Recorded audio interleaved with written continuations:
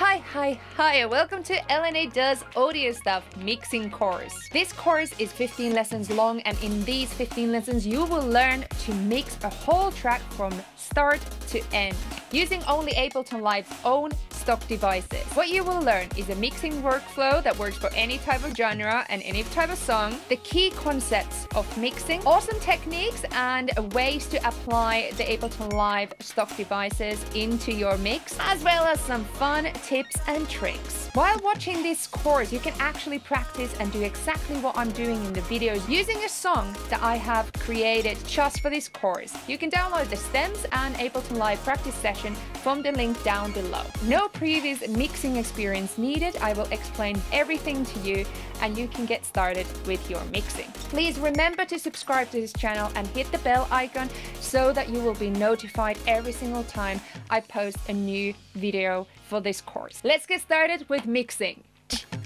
So this episode is about audio effects chains that can make you super creative with mixing, but also learning to do these will really help you to understand how devices actually work on the channels, but also speed up your workflow. Also, thanks so much for DistroKid for sponsoring this mixing course. DistroKid is a distribution company that I personally use to publish all my music. They also have lots of cool free services that are part of the deal. So example, one of them is splits that allows you to split all the income fairly between all the people you have collaborated in the track. So it's really, really cool for that. So in the end of this video, I'm showing you how that works and tell you a little bit about that. But now let's get into this tutorial and let's talk about audio effect chains. Okay, okay, okay. So, audio effects chaining. So, we learned about compressors, we learned about EQs, we have them here on our channels. Now, we need to talk about a little bit that we already covered a tiny bit, but we're going to talk about the arrangement of these plugins. Devices, because they are Ableton Live devices, and plugins are external stuff that you put in. Anyhow, Many people ask me when they start producing or mixing, what does it matter in which order do you put the devices in? It matters because you know what we talked about gain staging in many weeks ago in this course. We talked about gain staging. So it's the same thing. The signal goes from left to right to right to right to the master. So we have a chain of things that happen. It comes to the sound source. It goes to this device view and we have a chain of things that's going to happen. It's going to go first EQ'd, compressed, and then the EQ'd and compressed signal is going to go to the saturator. So this will receive a completely different type of signal what the original was because it goes from one to another to another. So it's called a chain. Woohoo! Keep in mind if you are thinking, should the compressor be first before EQ, EQ before compressor? The point is, how is the other one affecting the other? Left to right. EQ maybe first because you're uh, cutting away unwanted frequencies because then you don't want to compress the unwanted frequencies and then cut them. So it just makes more sense to be put an EQ first, then compress, and then add maybe another EQ after it. And also, just watch this whole course because everything will make more sense if you just watch every single video of this course. And what more you learn mixing, you can start doing your own chains. If you're not really sure where to start, you can go to utilities and from there audio effect rack okay? From audio effect rack if you go to this area here it already gives a lot of different options. I have a lot of presets i already made by myself. You can find them on my patreon. I give them free for my patreon channel actually. But also there are different ones that are made by ableton. So there's mixing and mastering ones. So example there's a channel kick channel snare drum bus which means a drum group track like this. So you can actually go and add example the drum bus there to the drum bus. And then we can just have a look what's in there. Open up this. And what we can see here is that it has two devices next to each other. So this one has one chain and it has pedal and drum bus. And then all these controls be mapped to these controls here. So you can use these to control all the devices that are in the chain. So why do you want this? Well, you might want it because you have a certain chain that you use a lot on your vocals, on your kick, on your drums, on your synths. You have similar stuff that you always use. So it's easier just to create this chain for yourself and then you can just save it and use it always over again. So that's one reason. So on the return track in the last video, I put a reverb and a compressor on a return track because I wanted to compress a reverb. So it's basically parallel compression with the reverb happening same time. So example, I could select both of them, holding down shift, press command G, or you go here and right click and group. Okay, so now what's happened is that they have been put into an audio effect rack. It's the same thing as you would go to utilities and drag empty audio effect rack here and then just drag these effects into the empty audio effect rack. Same thing, same thing. What we can do now is that we can open these up here, especially the first one and the bottom two. So the first one shows the macros, second one shows the chains, and the third one sh shows the what's in the chains. But we can also add extra chains. There's so much we can do here. We can add a create a chain. We can create, so this is uh, rev comp or we can have example add uh, echo into the other one. So another way is that we can click here a chain. There we go. And now I need to put these on.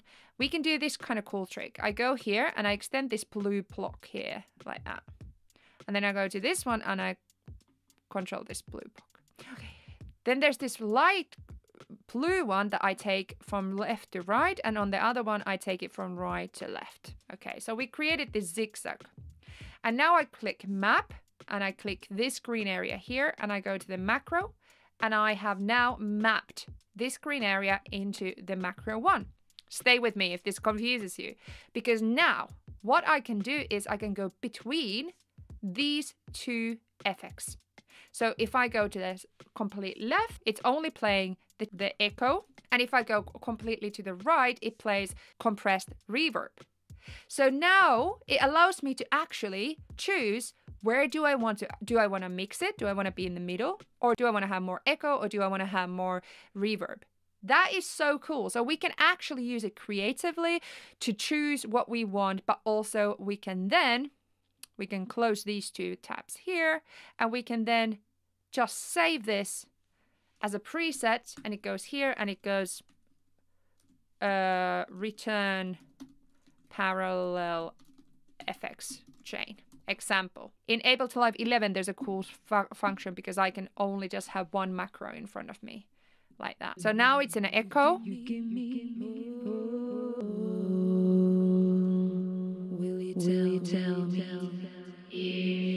And now it's in a reverb with the compressed.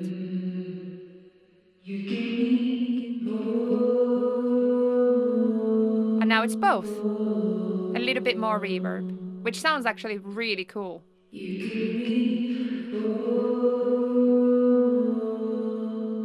Which I actually prefer that. So this means that next time we are faster when we mix. Example, I like the fact that I have an EQ, compressor, saturator, um, possibly other effects as well. Chorus, maybe flanger, another EQ. This one, the first one ju was just to cut away all unnecessary frequencies. Then we are compressing the signal that doesn't have any of the unnecessary frequencies. Then we are saturating the clean signal that we already cleaned here. Then we are adding some effects to it. And now this one, we can just uh, add resonance to some of the signals that we feel like the vocal needs even more. me and for me, example, I usually like vocal uh, resonated a little bit between five to eight kilohertz, especially the main one. I don't know, somehow, especially uh, depends of the vocal, but my vocal personally, which this is my vocal, um, I like it somehow a little bit added resonance around here. Will you tell me? So this is with it and without. Will you tell me if you need me? Just add a little bit clear clearing. Clearing? Cl clarity clarity. You can see there's just a lot of stuff here. And you know i might want to use this chain again one day. So i hold down shift i go here command or control g. We're grouping them all. And now i can also collapse them all. I can just save it like this double click from the top bar and it collapses them. And now how much nicer it looks like this a whole video of showing how to create this and how to do the mapping in more detail. So I'm going to link that down below.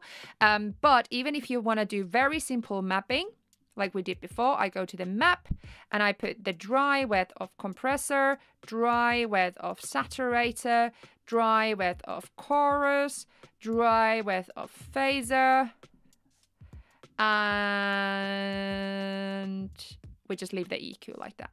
So example, just these four, I just delete, take off all the unnecessary macros and collapse these again. I give them a nice color like this.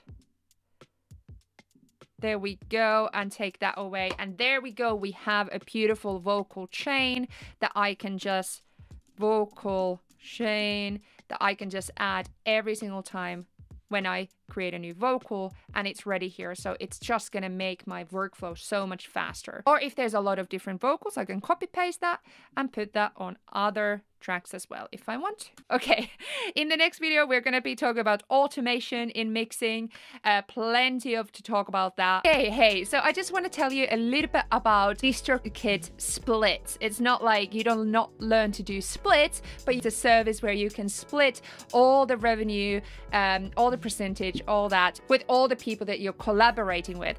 Because especially now, like 2020, 2021, we started to collaborate with people even more and more and more more, then sometimes it can be a bit messy because you're like, how do I actually get everything paid? You know, 50% for that person and 50% for me. But how do I get that all sorted out? Well, you go to your DistroKid account, and on the top bar there, there is splits. So basically, automatically splits payments to your collaborators. Super easy to do. So you're going to select the track which you collaborated with with somebody else. So you go select that, then you just go to next. So example, if I compose this with uh, 50 and 50 with somebody else, so I can go here, ah, where is 50? There we go. And I can add another 50 for somebody else if I had written that this with anyone else. So you can add unlimited collaborators to your track. You can change the splits anytime. So also it's really good for privacy and so that there's no drama. Uh, the collaborators can only see their own percentages, what they're getting, because otherwise drama in in a band. Your collaborators do need to have a DistroKid account, one of these lovely things, uh, but they get 50% off discount, so it's only like 10 bucks or something. So if your collaborator is late signing up, it doesn't mean that your release is going to be late. And also, if they never sign up, then you can either keep the percentages for yourself or you can do it the calculation somewhere else. And also DistroKid never takes a cut. So remember that. So you get all your 100% of your money. It's just a really easy tool. Like as an independent artist, we don't have money to pay for accountant. We can actually just do it here. And that's why it's super fast way to do that. So I'm really love it. I love this. I love this. Love it, love it, love it. If you want to check out DistroKid and also splits, then go to the link down below and more info there. Check it out. Thank you so much for watching this video. Please subscribe, please hit the bell icon so that you get notified every time I post. Usually I always post all my Patreon followers here, but in this mixing course, I am now thanking all my patrons in the info box down below. If you want to be part of that family, where I do weekly live stream Q&As, I give feedback, I give free stuff, presets and templates. If you want to be part of that all an amazing community, then please check out the link also down below. Also, remember, I have merch, so check that out as well down below. Have a very lovely day and I'll see you next Sunday because I post every single Sunday. Bye!